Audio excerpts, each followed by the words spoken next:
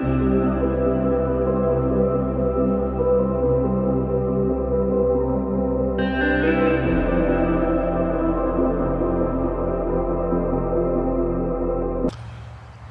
family and friends, it's Rob the Sapper Gardener and we're just out doing some cleanup and some prep work in our micro orchard. We're prepping the area where eventually we hope to put a high tunnel or a larger greenhouse. But until then, we're going to use them as uh, small food plots or mini food plots for the micro orchard. So we figure we can do corn, okra, maybe we'll do some trellises to do a squash once we burn holes in it to plant in. So we've got two layers of silage tarp down and this is an idea we've seen on other people's channels. Uh, obviously uh, nothing's new under the sun but we still need to pin the silage tarp down a little better but that'll stop anything from growing that we don't want growing or at least slow it down dramatically so we're gonna come back out put some pins in this and then uh, may burn tomorrow I've got a flame burner we'll use that to put uh, small holes in it so that we can plant underneath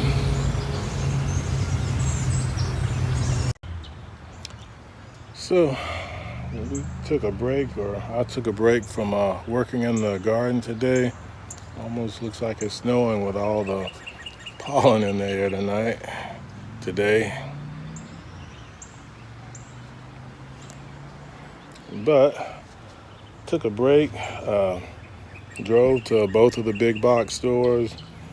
Uh, our friend Sydney at the Naked Gardeners had already warned me the cost of peat moss is more than doubled since the last time that I bought any anyway. It was uh, under $10. I want to say 9.79 or 9.99 the last time I bought some two, three, four years ago.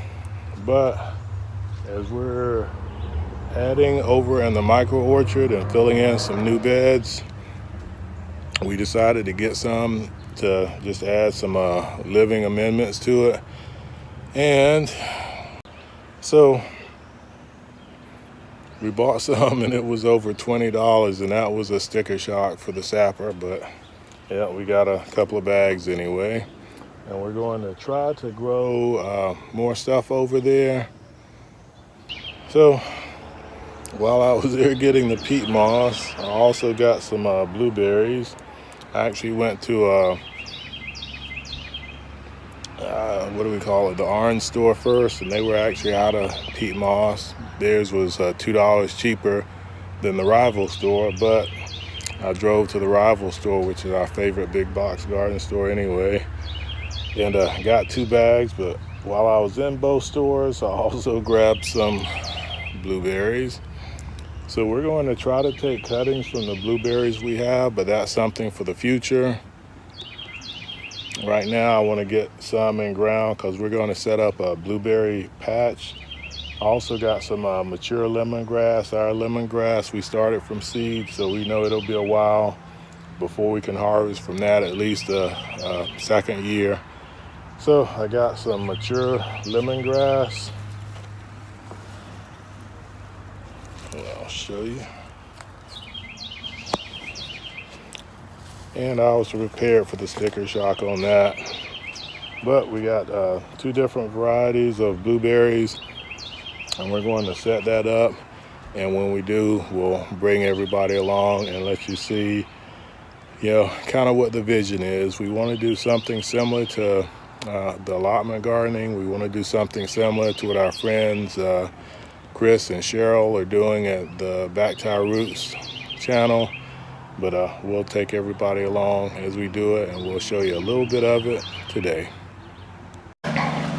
So we got one plot started over here. We're gonna have our blueberry hedge. We actually have two more blueberries in the greenhouse we gotta bring out and we'll have our first hedge and we'll see what we'll put on these two plots. These are five by about 20.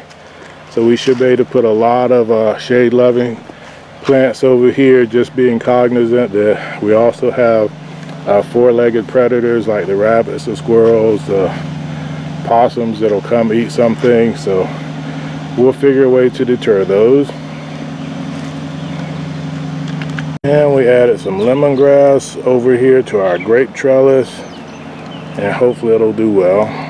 So next video, hopefully we'll have some uh, potatoes out here, some corn and whatever else we're gonna grow, at least in this space. So in our battle with the weeds and the mint, we brought in heavier duty silage tarp and we're going to be using that to smother out the weeds and hopefully prevent the mint from uh, reclaiming our garage garden area. But we've got our resident superhero in, Mrs. SG, on the job, so we know we're going to win this battle. One day later. So we're back out here and we're starting on the next section which is going to be potatoes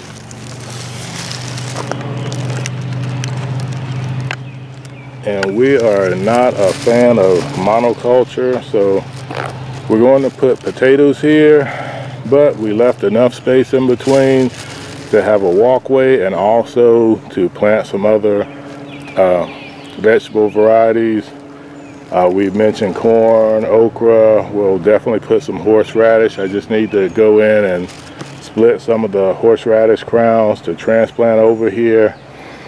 And we'll try to mix up what we do all along in here. And hopefully that'll work out well. And one thing that we were hoping to avoid, which I don't think I'm going to work fast enough to completely avoid it, before we get everything set up out here we'll have to do a little bit of grass cutting just to keep this manageable until we figure out what's going where and we get it in the ground but we got a good start with the blueberry hedge. We're going to set up some of the other hedges and hopefully I can figure out a plan for over here.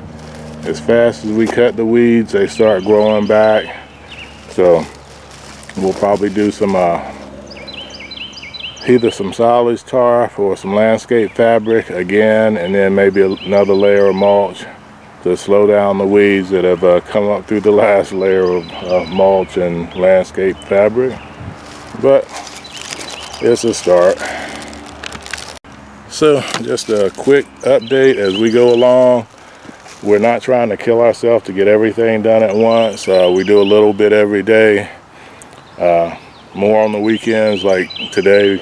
I've got all day to spend out here working. So we'll see how much of a dent we can make in it. But as always, this is Rob, the Sapper Gardener, representing Essayons Family Garden, saying God bless our great country America and God bless you wherever you reside around the world. And if you're building a garden, boom, grow it up.